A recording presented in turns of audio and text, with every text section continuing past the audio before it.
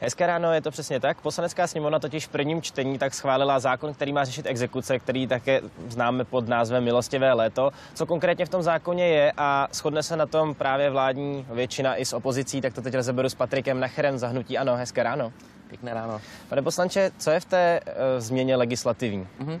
Já bych to nenazval jako milostivé léto, ale já jsem to nazval eh, ve sněmově milostivý podzim, protože ono by to pak implikovalo, že milostivé léto je to další třetí díl a ono to tak není. Tohle se týká všech věcí, kde ten dlužník eh, dluží někomu eh, ve veřejné sféře, státu a tak dále, ale nevymáhá to soukromý soudní exekutor. Těch se týkalo právě to milostivé léto, milost 1 a 2. Tady to jsou ve směs třeba daňové dluhy, kde to vymáhá finanční úřad své pomocí, celní zpráva nebo Česká zpráva sociálního zabezpečení. Takže se to týká dlužného, dlužných daní a sociálního pojištění.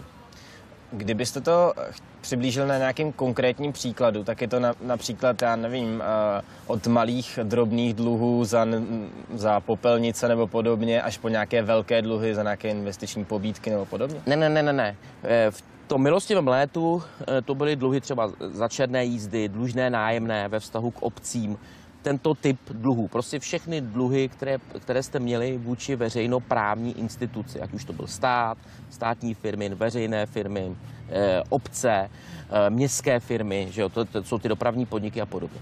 No a v tomto eh, dalším pokračování, aby to bylo fér, kde si to ty instituce vymáhají své pomoci bez toho soudního exekutora, proto bych to já nazval milostivým podzimem, aby to v těch lidech jako nevyvolával dojem, že permanentně se bude vracet milostivé léto a permanentně se tady budou jakoby ti lidé zachraňovat. Ne, to není možné, protože aby z toho vznikl dojem, že dluhy se neplatí, protože vždycky přijde milostivé léto 5, 6, 7, 8. Ne. No a tady jsou to typicky daňové dluhy, to znamená, když dlužíte něco na daních, vymáhá to finanční úřad, eh, nebo dlužíte eh, na eh, sociálním zabezpečení. To znamená, že to vymáhá Česká zpráva sociálního zabezpečení. Jaké jsou tam změny, to si myslím, že je důležité pro lidi. Zatímco to milostivé leto trvalo vždycky tři měsíce, kdy jste měl možnost to uspořádat, zaplatit tu jistinu a odpustí se vám to příslušenství kolem, tak v tomhle tom případě je to pět měsíců od 1. července do konce listopadu. To je základní informace. Druhá, že to týká všech vlastně případů, které nastaly před 30. zářím loňského roku. To znamená, aby dneska někdo nemohl rozumíte, jako kalkulovat. To a Teďka to. udělám dluhy, protože vím, že to. To znamená, že zpětně se to týká případu do 30. září.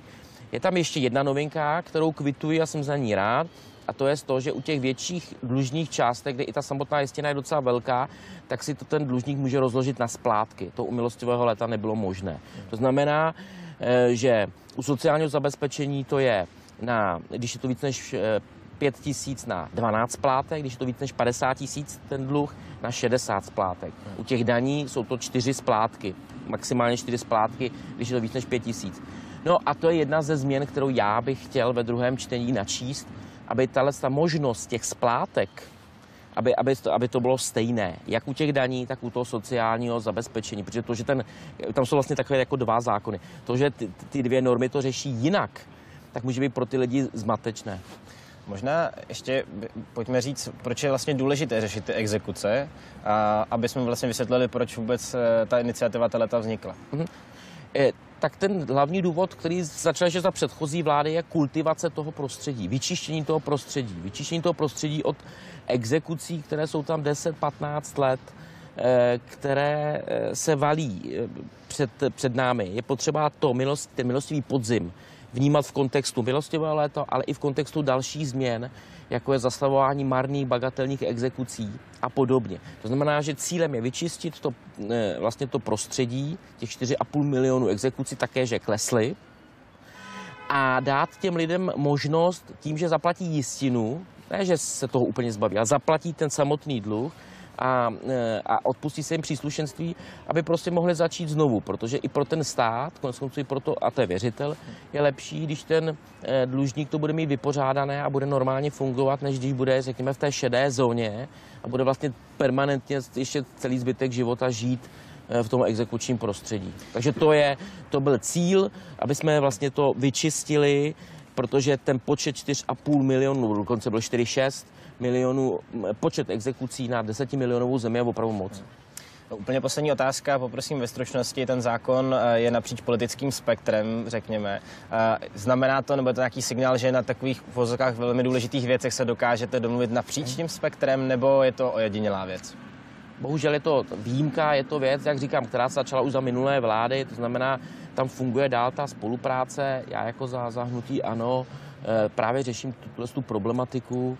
Eh, To znamená, že já kvituju to, že ta vláda vlastně pokračuje v tom trendu, v tomhle tom případě jako eh, jednání s opozicí, tak aby ten návrh byl co nejlepší. Jeden pozměňovací návrh jsem vám tady představil, ten druhý bude, eh, aby se to rozšířilo i o zdravotní pojišťovny, protože ty mám pocit, že z toho vypadly. Tak jsem zvědav, jestli eh, ten trend té spolupráce bude pokračovat. Bylo by to ve prospěch těch lidí, kteří jsou v, eh, v těch exekucích. Říká poslanec za hnutí Ano Patrik Nacher. Moc díky za váš čas. Já moc děkuji, přeji hezký den.